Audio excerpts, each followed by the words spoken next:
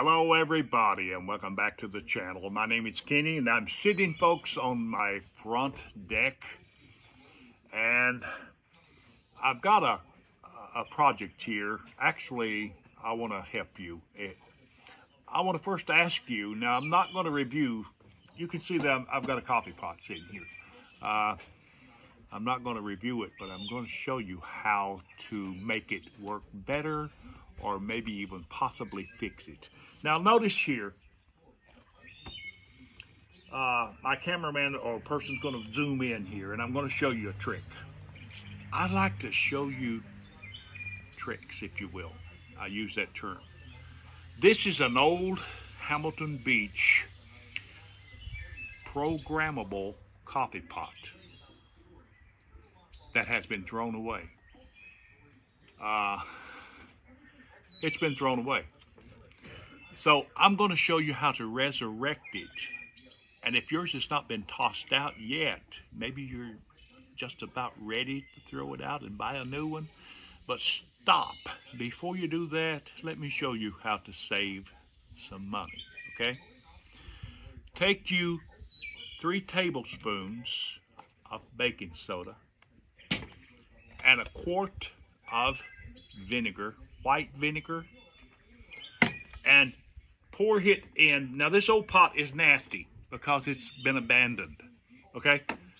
Pour it down into the top of, listen, blend that baking soda first with a quart of white vinegar, three tablespoons of baking soda, blend it slowly. Now it's going to have a little gas on it, little kind of bubbly, fizzy, if you will. So pour it down into the vinegar kind of slow from the top of your container, but mix it up thoroughly first, okay?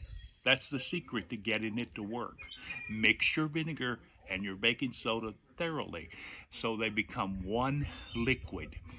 Now that vinegar is going to be clear, and of course it is. Even though you add the baking soda, the baking soda's white, so it's going to be clear. Dump it down in here and do like I did. Goes down into your reservoir. Now listen, your reservoir there will be cleaned in the process, but the big thing is, is when this starts to brew, I have already brewed this. Now, moving that over, look at this. What causes your coffee pot to mess up? hard water scaling that's inside the pot.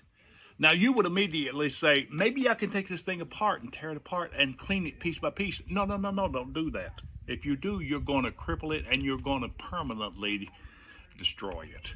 The only way you can do it is to run this vinegar through it just like you would brew coffee. And let that pot slowly brew through here with that vinegar and baking soda. Now here, let me show you, if my camera person can show you what this looks like. Now that's hot. That was, listen, that was clear prior to going through the pot. But after I ran it through the pot, look what you've got. It's a, a brownish gold color. It's cleaned that scaling that's inside that pot completely. Now, I ran it through. I want you to do this. Don't be afraid it's hot. Run it through two times, one quart, in order to get this kind of results. And I promise you, your coffee pot will work far better and you won't have to throw it out and you won't have to buy a new one. That is incredibly, incredibly showing me that that pot is clean. So let me show you one more thing here. Now, after I'm going to do this, after you clean it, now that's vinegar. Remember that. That's vinegar and baking soda, and it's cleaned this pot. Let me show you this. Here is some of the stuff that you need to look at. I put a, a filter in this thing in order to catch the stuff that's coming through from the clean. Now, I want my camera person, I'm gonna fold this right like this. Now, take a look at it. Look here. Look at this. Just plain gook that came through that filter.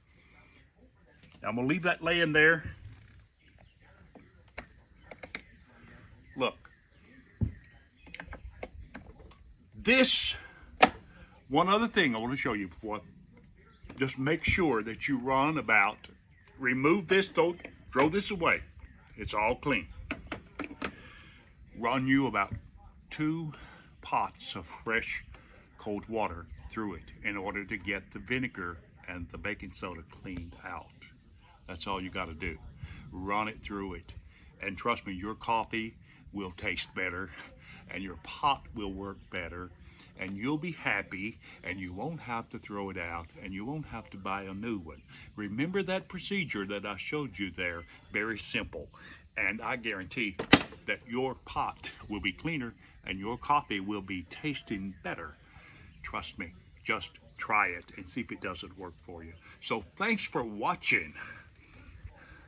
I'm not a coffee drinker, but I know how to fix a coffee pot. And this is a DIY thing that you can do yourself and save some money. Isn't that what it's all about? Is saving some money? I think so. So if you like this, give us a thumbs up.